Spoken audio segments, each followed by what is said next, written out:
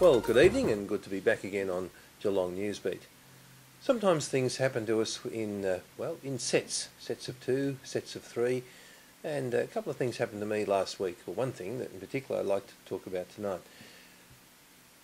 I suppose the whole question of parenting is one that uh, is one of the major challenges of, well, of any generation really. Um, parents have one shot at it with in the terms of uh, they have their family, one, two, three, maybe more children, but that's the uh, the real real focal point of their life, uh, which never goes away. Well, I'm not a parent, but I'm a child. We're all children, and so we've all ex- experienced parenting in some shape or form. Three things happened to me this last week, which uh, I think give a, a bit of an insight advice on parenting can be very simplistic and so on, and it's a, to say it is a major challenge. But I was with a good friend during the week, and uh, he made a comment to me which was echoed in other things. He, he said to me, he said, uh, and he's a very loving dad, this particular fellow, and he said, uh, he said, the bottom line of parenting, he said, is that mum and dad have got to love each other. And uh, I thought back to my own parents. Um, my my dad actually will be born 100 years ago on Thursday, the, uh, the, the 6th of August. He was born on the 6th of August 1908. So it's a sort of a special day. And uh, I was very lucky to have a, a, wonderful mum and dad. Not everybody is, but uh, and a lot of people can uh, carry the scars if they don't. and A lot of people move through it and still make a good life.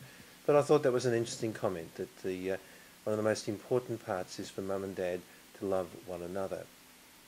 I then read an article in The Age uh, last Wednesday by Catherine Deveny, who's a somewhat, uh, often somewhat controversial writer, and uh, but she wrote some interesting things about the fact that parents give children odd names, and they might shower them in this uh, age of technical gadgetry and wizardry with all sorts of, uh, of gifts and opportunities. But uh, the the article was headed all they need is love. And uh, it was, uh, again, some could look at it as being somewhat simplistic, but uh, it was a pretty good insight and a good reminder that the most important gift that can be given to children at any stage is love. And then on Friday I celebrated a funeral, and the uh, it was a funeral of a gentleman by the name of Noel Spears, who was a racehorse trainer. I was very taken by some of the words that uh, his his children wrote that they had read on their behalf at the uh, at the funeral, and uh, I'll just read it out. It sort of ties in with those other two comments. They wrote about their dad. They said, as kids, we felt we were rich, even though we didn't have a lot of material things.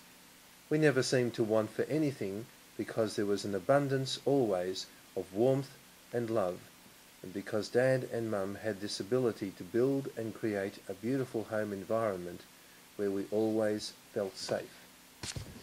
And uh, I heard those words uh, just on the heels of those other two uh, pieces of advice. All they need is love, and for Mum and Dad to, to love each other.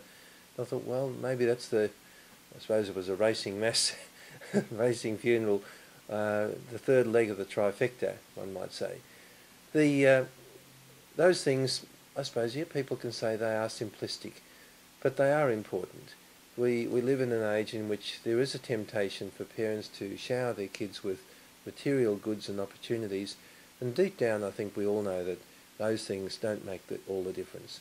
What does make all the difference is that sense of love, of warmth, of safety, of being cared for, loyalty. None of this is original, but it's good to be reminded of it from time to time. Maybe for those of you who are parents who are watching that, watching this, uh, you might think, well, uh, is there an area in which I can give a little more love to my children?